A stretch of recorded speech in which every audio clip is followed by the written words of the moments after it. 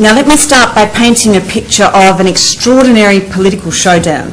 It's 2005, and Victorian Liberal backbencher Petro Georgiou, along with three other government dissidents, are toe to toe with John Howard at the Lodge in Canberra. It's late on a cold, rainy Monday night. The media are camped out the front gates. At stake is whether John Howard will face his first rebellion on the floor of the National Parliament. The issue is Australia's bipartisan uh, is Australia's bipartisan and pitiless system of mandatory detention of asylum seekers.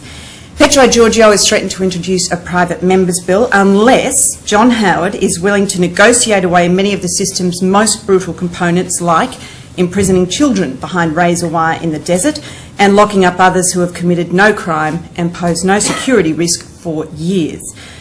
But it's gone on for two and a half hours, this meeting. It's obvious to the dissidents that the Prime Minister is not interested in giving in to these four backbench rebels, and why should he?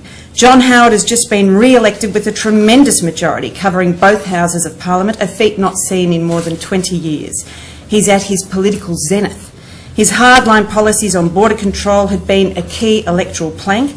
The stream of boat people had all but stopped. So John Howard is visibly irritable and combative when the few concessions he does offer these rebels is rejected as not going far enough. So Petro Georgiou stands up.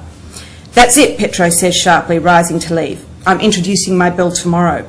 Let's be clear about this, John Howard replies just as sharply. If you do this, Petro, you will embarrass your government, you will embarrass your party. The intensity and directness of what comes next surprises even Petro's three colleagues. I'll tell you what's embarrassing, John, says Petro. Three years ago, you agreed to let out a three-month-old baby who'd been born in detention. She's now three years old, and she's smashing her head against a wall inside Villawood. That's embarrassing, John. We've got psychiatric patients I went to you about who should have been released for treatment, but instead that was blocked by the department, and now a court has found that the government has breached its duty of care to these people.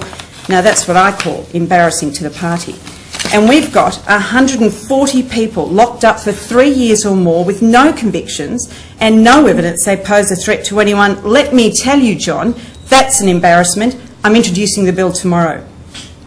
John Howard tries to diffuse the confrontation. Petro, let's all back up here a bit. But the fuse is lit. John Howard has failed to break the rebellion. But can Petro Georgiou now break the system holding refugees and their children in indefinite detention?